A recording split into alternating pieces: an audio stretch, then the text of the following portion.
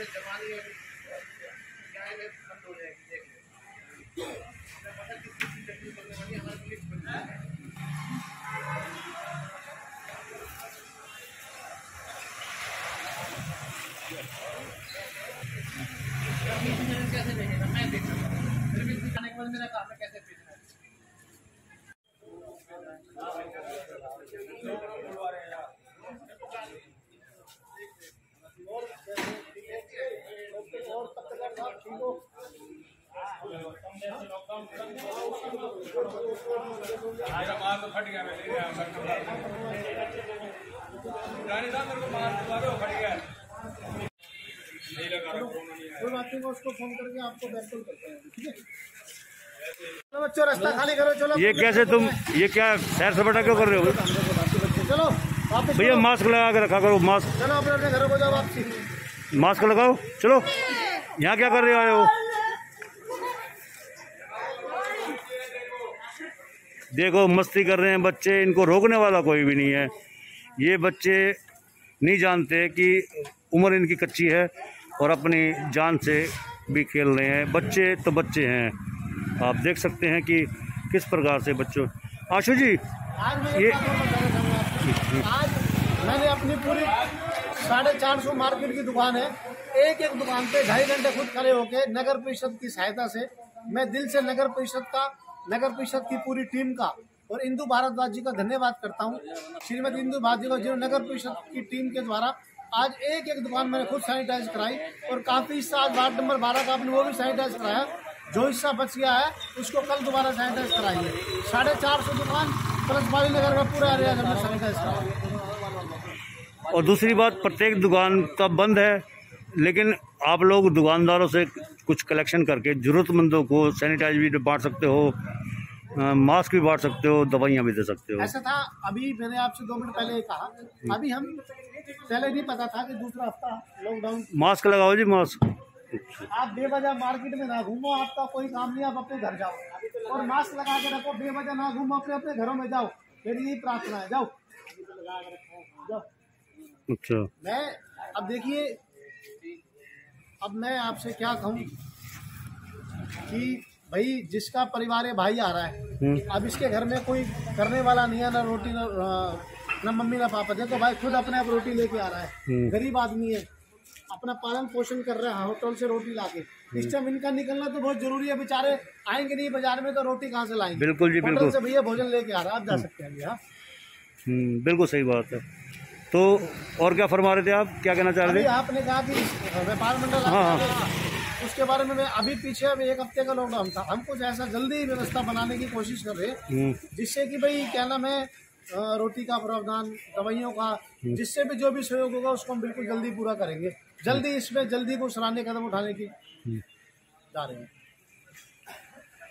तो ये थे हमारे बीच में जवाहर नगर मार्केट एसोसिएशन के प्रधान आशुराज राजपाल जिन्होंने बताया कि वो रोज़ ही दुकानों पर जाते हैं और आज ढाई घंटे स्पेशल लगाए हैं उन्होंने सैनिटाइज करने के लिए।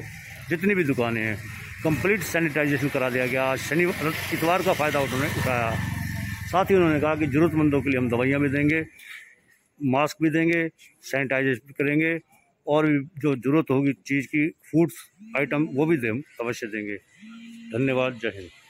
ये आशु राजपाल जी अ, इस समय रात के साढ़े आठ बजे हुए हैं। आप मार्केट में प्रधान की हैसियत से मुआयना करने के लिए निकले हुए हैं क्या? दिल्लू मंडी वालों के आज से बारह दिन पहले तो उनका भतीजा आया हुआ है, मैंने उनको पाँच पाँच बर्तन निकाल के दे दिए और दूसरा, मैं इस समय नहीं प्रतिदिन रेगुलर मार्केट में देखता हूँ क्या चल रहा है, क्या नहीं चल रहा, मेरी बाज़ार सुरक्षित है तो मैं सुरक्षित हूँ। बाज़ार का परिवार का हर सदस्य, मेरा परिवार का सदस्य मैं प्रधान के उद्देश्य से नहीं अपने परिवार के उद्देश्य से बाज़ार में आता हूँ और सब सुरक्षित चल रहा है ठीक ठाक चल रहा है। दिन में दो या तीन चक्कर लगाता हूँ और वो घर की साग सब्ज़ी उससे एक हफ़्ते के लिए लॉकडाउन और बढ़ा दिया गया है। क्या कहोगे? अब सरकार हर व्यापारी सरकार के साथ है। मैं हमेशा एक ही बात कहा करता हूँ कि घर में रहें सुरक्षित रहें।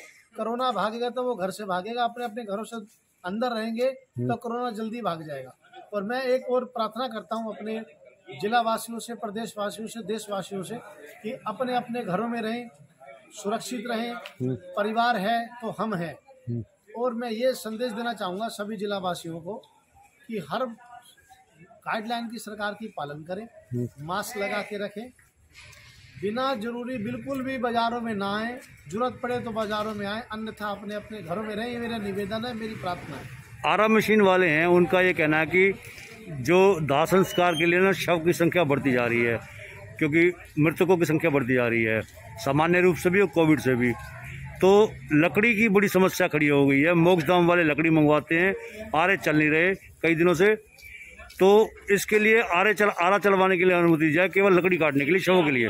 क्या कहोगे आप? पर, प्रशासन से मिलोगे आप? हाँ इसके लिए मैं प्रशासन से मिलूँगा। अभी मैं वैसे तो दुकान के लिए जो मैं आपको बताया अभी दो मिनट पहले कि मैं अपना वो निकालने आया हूँ एक पाँच पाँच बर्तन लेने हैं। व्यापार मंडल का लेटर पैड इसमें रखा मैं इसमें विद साहब को एक चिट्ठी लिखूँगा। जो जो हमारे पलवल ज़िले में दुख है उसको विद साहब से व्यापार मंडल के लेटर पैड पे लिख के दूँगा भी हमारी तकलीफों को सुना जाए और इसको दूर किया जाए और जो भी सरकार आदेश करेगी व्यापारियों के लिए हम उन आदेशों का पालन करेंगे। आपके जवाहरनगर कैंप में होम आइसोलेट पेशेंट हैं क्या कोविड के?